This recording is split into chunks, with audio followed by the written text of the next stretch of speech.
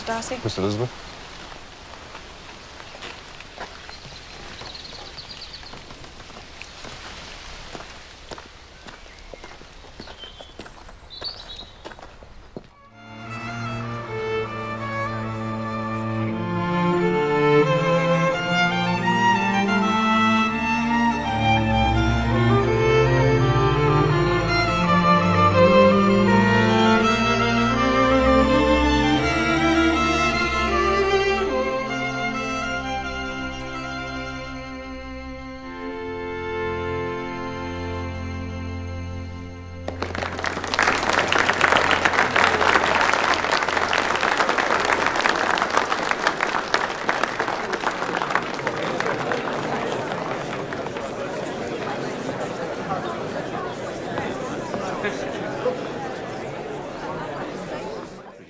Three hundred pounds.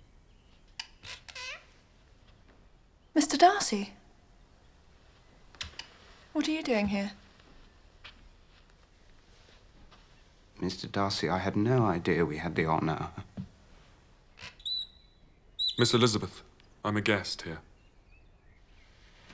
You know my nephew? Yes, Ma'am. I had the pleasure of meeting your nephew in Hertfordshire. Colonel Fitzwilliam, how do you do?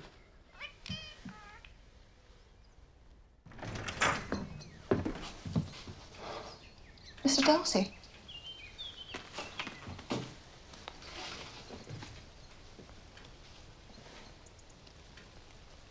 Please do be seated.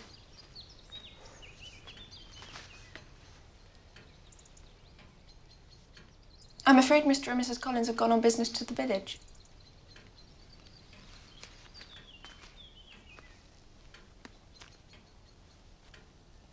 This is a charming house.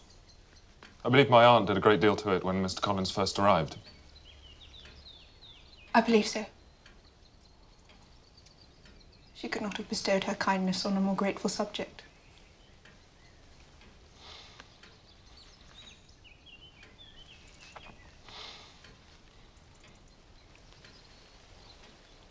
Shall I call for some tea? No, thank you.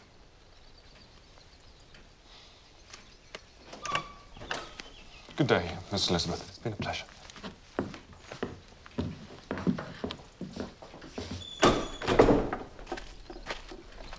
What on earth have you done to poor Mr. Darcy? I have no idea.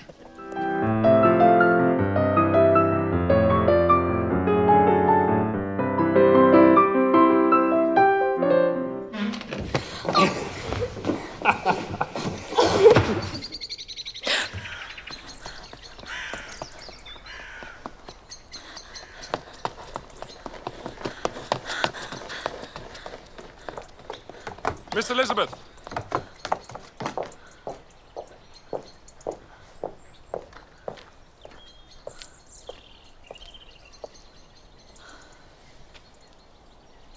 I thought you were in London. No. No, I'm not. No. No, I We would not back have come had we you some business with my steward. Yeah.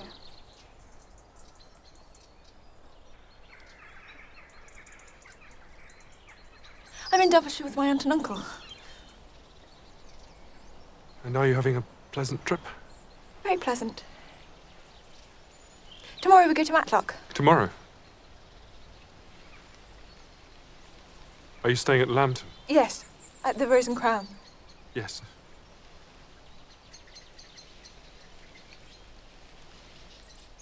I'm so sorry to intrude. They said that the house was open for visitors. I had, I had no idea. May I see you back to the village? No. I'm very fond of walking. Yes. Yes, I know.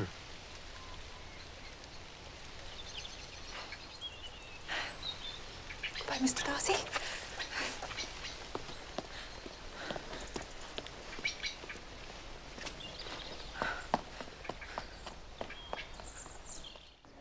Surely you must know it was all for you. You are too generous to travel with me. I believe you spoke with my aunt last night, and it has taught me to hope, as I had scarcely allowed myself before. If your feelings are still what they were last April, tell me so at once. My affections and wishes have not changed. But one word from you will silence me forever.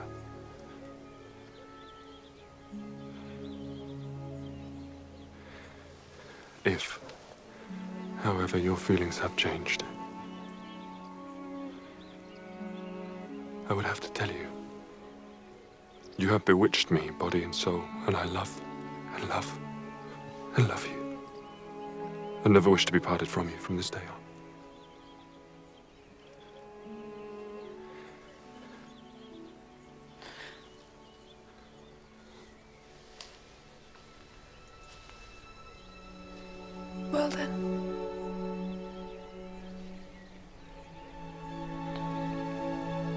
Your hands are cold.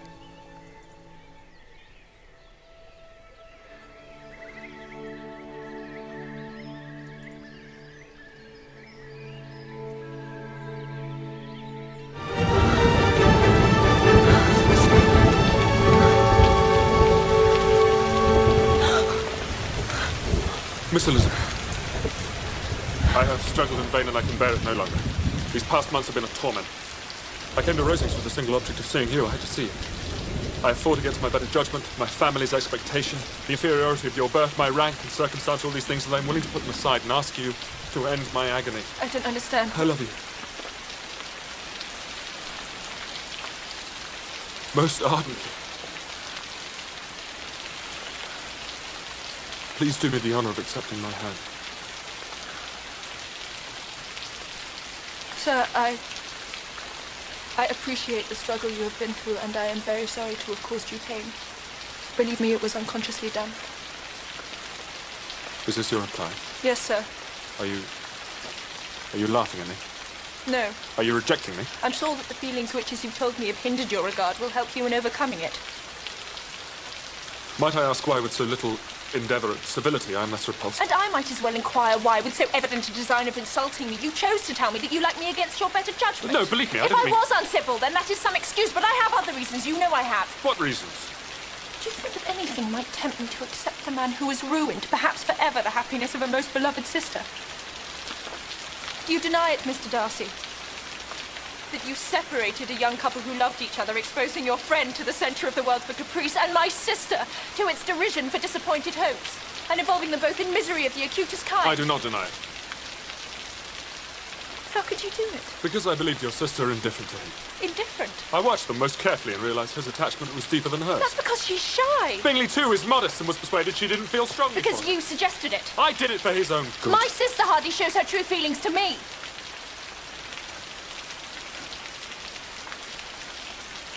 I suppose you suspect that his his fortune had some No, bearing I wouldn't do your sister the dishonour, though it was suggested. What was? It was made perfectly clear that an advantageous marriage... Did my sister give that impression? No, no. No, there was, however, I have to admit, the matter of your family. Our want of connection. Mr. Bingley didn't seem to vex No, it was himself more about than that. How, sir? It was the lack of propriety shown by your mother, your three younger sisters, even on the occasion of your father.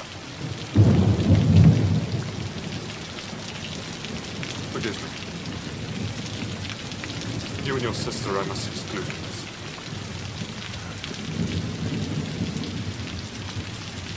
And what about Mr. Wickham? Mr. Wickham, What excuse can you give for your, behaviour towards him? you take an eager interest in that gentleman's He told me of his misfortunes. Oh, yes, his misfortunes have been very great indeed. You ruin his chances, and yet you treat him with sarcasm. So this is your opinion of me. Thank you for explaining so fully. Perhaps these offences might have been overlooked had not your pride been hurt by My honesty in admitting scruples about our relationship. Could you expect me to rejoice in the inferiority of your circumstances? And those are the words of a gentleman. From the first moment I met you, your arrogance and conceit, your selfish disdain for the feelings of others, made me realize that you were the last man in the world I could ever be prevailed upon to marry.